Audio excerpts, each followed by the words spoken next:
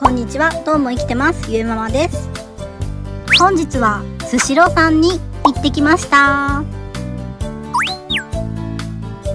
食べる前に今回もカロリーミットを飲んでおきましょう。なんだこれは。ふと横を見たらこんな工夫がされてました。さて注文注文。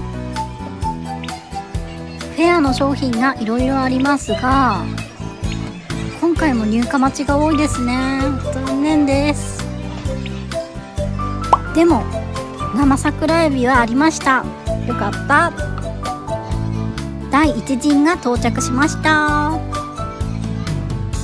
それではいただきます。まずは大好きなマグロからいただきます。やっぱりお寿司の顔といえばマグロの赤身だよね。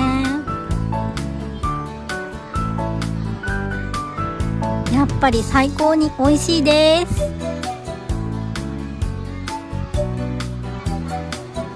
一番食べたかった生桜エビ軍艦がやってきました。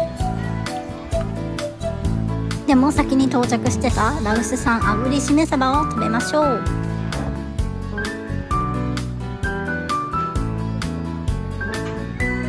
ネギと生姜がトッピングされてます。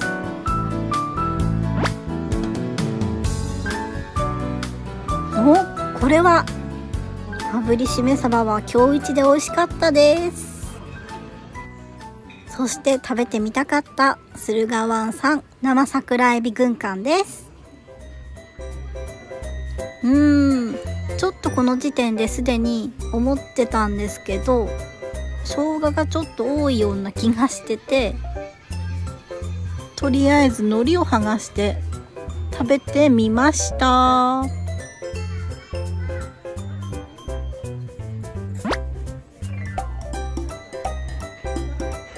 おおやっぱり生姜が効きすぎてる。残念なことに生姜の味で生の桜エビの繊細な味がかき消されてしまいました。2貫目は生姜を取って食べてみます。ちなみに取った生姜とネギは先にもぐもぐしておりました。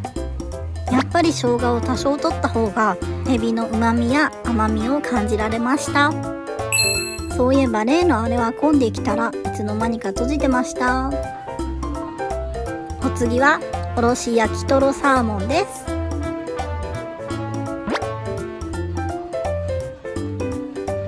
脂の乗ったとろサーモンに大根おろしがさっぱりとよく合って美味しかったです。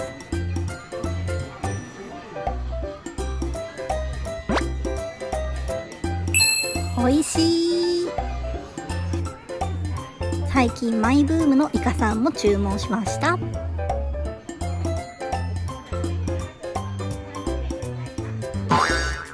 おおプリプリのイカさんですね。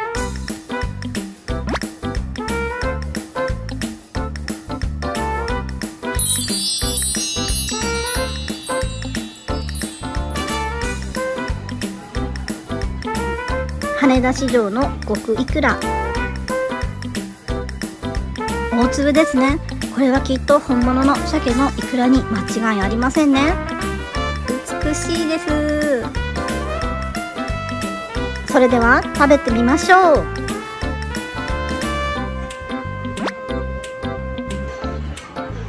プチプチの弾力がすごいです。